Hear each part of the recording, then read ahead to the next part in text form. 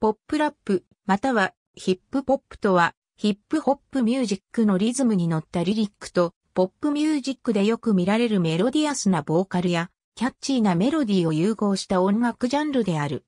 1990年代にメインストリームで人気を獲得した。歌詞は気楽なものが多く、ポップミュージックのサビに似たサビがある。ポップラップの影響とルーツは、ラン DMC、LL クール J、ビースティボーイズなどの1980年代のヒップホップアーティストたちに遡る。オールミュージックはポップラップをヒップホップのビートやラップとスタンダードな構成のポップソングでサビ部分としてフューチャーされることが普通であるような強いフックを持ったメロディとのマリアージュと説明している。また、ポップラップの歌詞はストリートのラップよりも攻撃性が低い傾向がある。だが、1990年代に登場したアーティストの一部は自分たち自身のわかりやすさに対する反発を和らげるため、よりアグレッシブな姿勢をポップラップに取り入れた。音楽ジャーナリストのウィルソン・マクビーは、ポップラップミュージックを強く批判し、これをヒップホップミュージックであるとして拒絶し、ポップラッパーは裏切り者だ。商業的期待に応えるためにアーティストとしての信念を曲げたやつだと思われている。もっと悪いことには、そもそも最初からアーティストとしての信念がなく、ただ金儲けのために、ラップの社会的、政治的伝統の価値を下げるという罪を犯したやつだ。と語っている。さらにマクビーは、こう語っている。フローライダーのような奴らにポップラッパーというレッテルを貼ることによって、ポップラッパーとただ単に本当に人気があるだけのラッパーの区別が曖昧になっている。ヒット曲があるラッパー全員が自動的に裏切り者だというわけでも、ポップラップにタグ付けされて当然というわけでもない。1990年代のキャッチーなフックを持った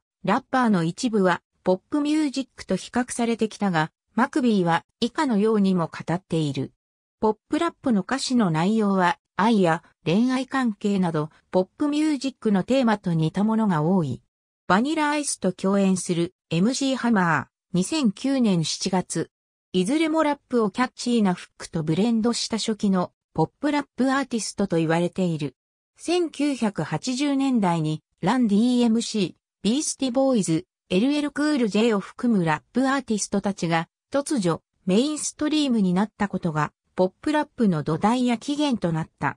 LL クール J は1985年のデビューアルバム、レーディオで頭角を現した歴史上最初のポップラッパーとされている。MTV は LL クール J の1987年のシングル I Need Love を最初のポップとラップのクロスオーバーヒットだと表現している。その後、トーンロック、ヤング MC、ザ・フレッシュ・プリンスなどのラップアーティストたちが圧倒的人気を獲得する中で、パーティーチューンやストーリーテリング能力に溢れた曲を作っていった。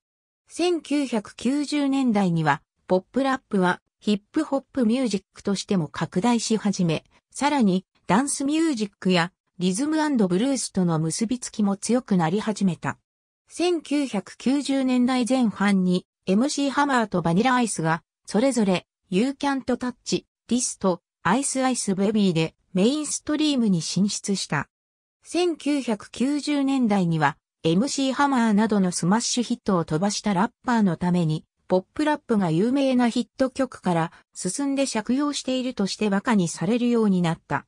1990年代の終わりから200年初頭までには、ジャルールのようなラッパーがギャングスタラップのテーマを1980年代のポップやソウルのエレメントと融合し、多くのアーティストたちがポップラップシーンを占拠した。2000年代2000年代前半にポップラップは全く異なるスタイルで復活した要出展。そしてアルバム Elephunk からのシングル曲 Where is the Love? など数々のスマッシュヒットを飛ばしたブラックアイドピーズの成功によりメインストリームに戻った。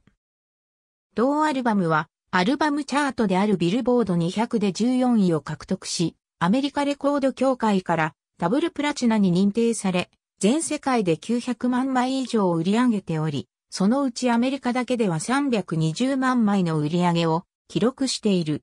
2000年代後半には、ドレーク、ウィル・アイアム、ニッキー・ミナージュやウィズ・カリファなど、多くのアーティストがポップラップシーンに登場した。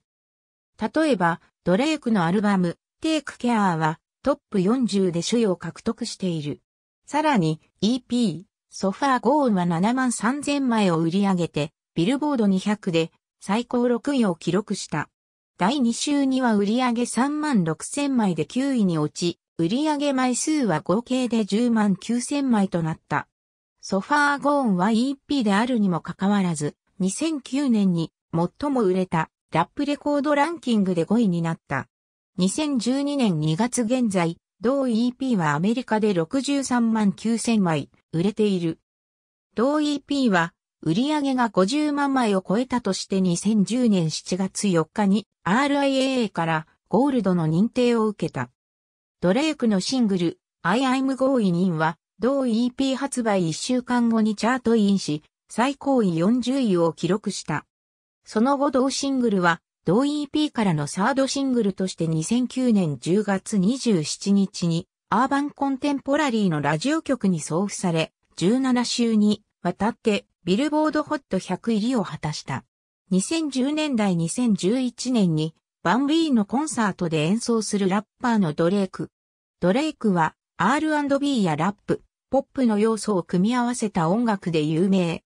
ドレイクの2010年に発表されたデビューアルバムサンクメレーターは同年年末のチャートで最高16位を記録した。同アルバムはその後アメリカで大ヒット。初週に44万7千枚を売り上げて全米ビルボード200で初登場1位を記録し2010年のアメリカの初週売り上げで第3位を達成した。ビルボードの R&B、ヒップポップアルバム及びラップアルバムのチャートでも1位になった。第2週には全米ビルボード200の第2位に落ち、売り上げは15万7千枚だった。第3週は2位にとどまり10万5千枚を売り上げた。第4週には順位を維持したまま7万4千枚を売り上げた。2011年1月9日までに同アルバムはアメリカで127万9500枚を売り上げている。2012年2月現在、同アルバムはアメリカで155万1000枚を売り上げている。同アルバムはアメリカでプラチナ認定を受けている。ニッキー・ミナージュもアルバム、 Pink Friday でメインストリームに進出し、同アルバムは発売1ヶ月後にアメリカレコード協会からプラチナに認定された。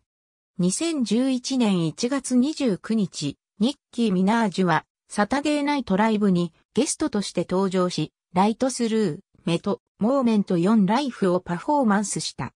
2011年2月9日には、 Pink Friday がチャートイン10位。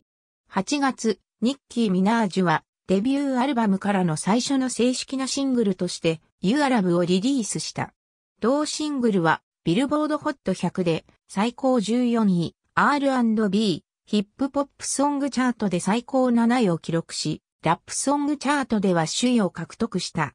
ニッキー・ミナージュは MTV の今年最も熱かった MC たちリストに掲載された最初の女性アーティストになり、単独でチャートの1位になった女性アーティストとしては2002年以来初めてになった。2010年10月、ニッキー・ミナージュは7曲が同時にビルボードホット100入りした最初の女性ソロアーティストになった。2010年9月には2枚のシングルをリリース。そのうち1枚は、ブラックアイドピーズのフロントマンウィル、IAM との共同シングルで、チェックイットアウト、そしてもう1枚は、ライトする夢だった。両曲のミュージックビデオは10月末にリリースされた。ライトする夢はドレークをフィーチャリングに迎えて2010年12月7日に4枚目のシングルとしてリリースされ、ビルボードホット100で好成績を残した。最高順位は、ホットラップソングで第5位。ニッキー・ミナージュのすぐ後にポップラップで人気を得たのは、デブである。最初は、ヒップホップデュオのザ・キャタラクスにメインボーカリストとして参加し、ファーイーストムーブメントのシングル、Like a G6 でアメリカのチャート1位を獲得し、2011年にはソロシングル、 Bass Down Low とインターネットで人気が広がった In the Dark で注目を集めた。デブはヒップホップのスタイルに futuristic エレクトロニカや swag talking、 gynoid talking を組み込んだ新しい波を持ち込んだ。